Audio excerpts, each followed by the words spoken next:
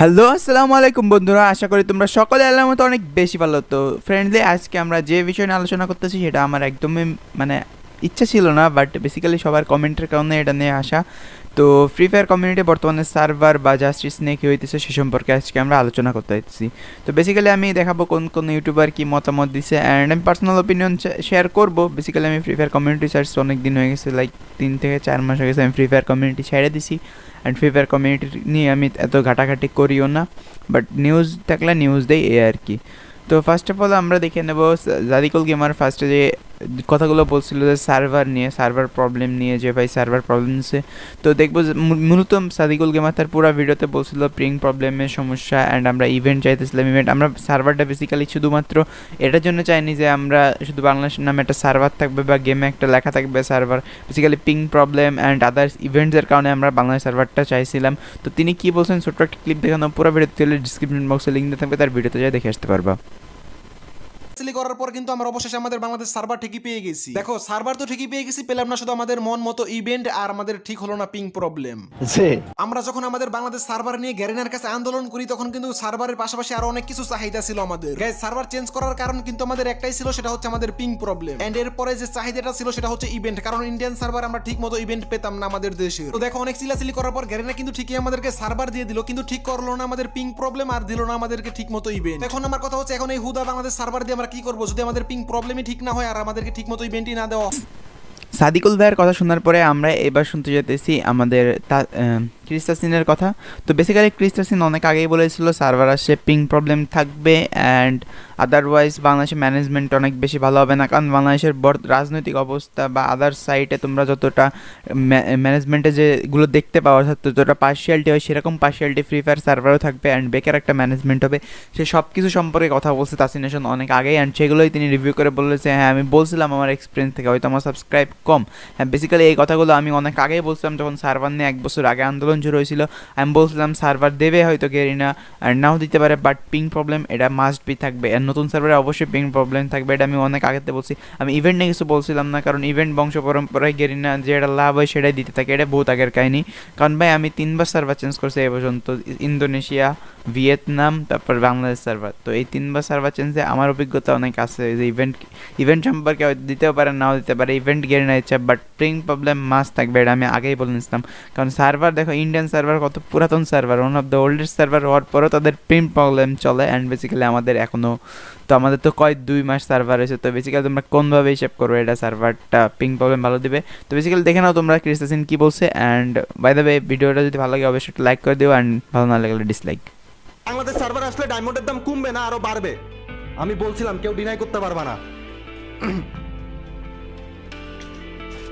আমি এই কথাগুলো আরও ছয় মাস আগে বলে আসছি।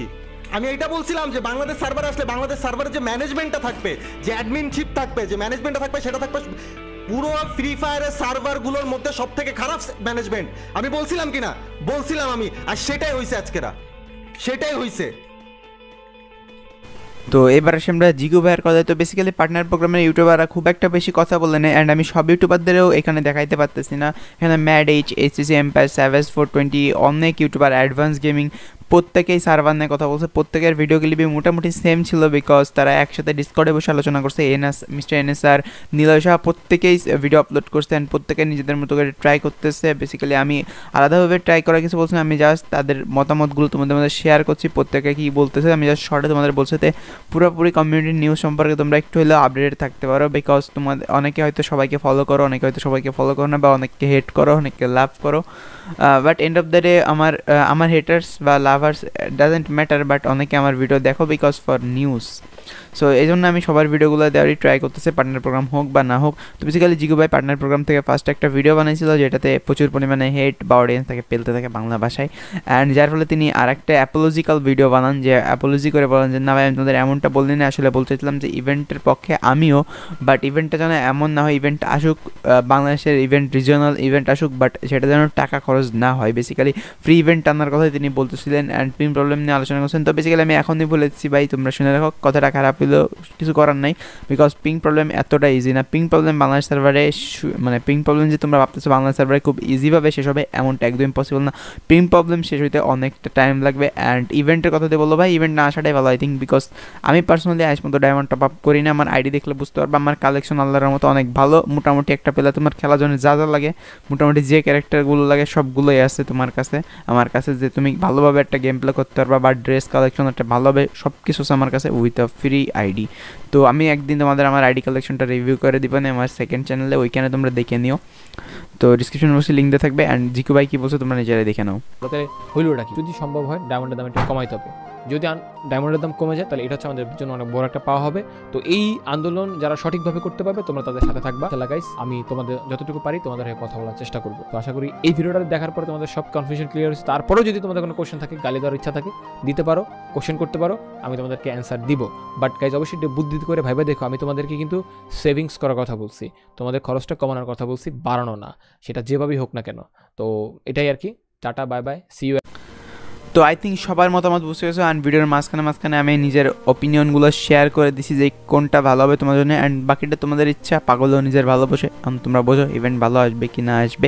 অ্যান্ড বেসিক্যালি তোমাদের একটা কথা বলে আনি কোনো ইউটিউবারই কোনো ভিউয়ার্সের জন্য কাজ করে না। এটা যতগুলো, যত ইউটিউবারই যাই বলুক, সে আমার পর রাগ করুক আর না করুক, আমি নিজেও ভিউজের জন্য ভিডিও বানাই ইউটিউবার বা ক্রিয়েটররাই ভিউজের জন্য ভিডিও বানাই।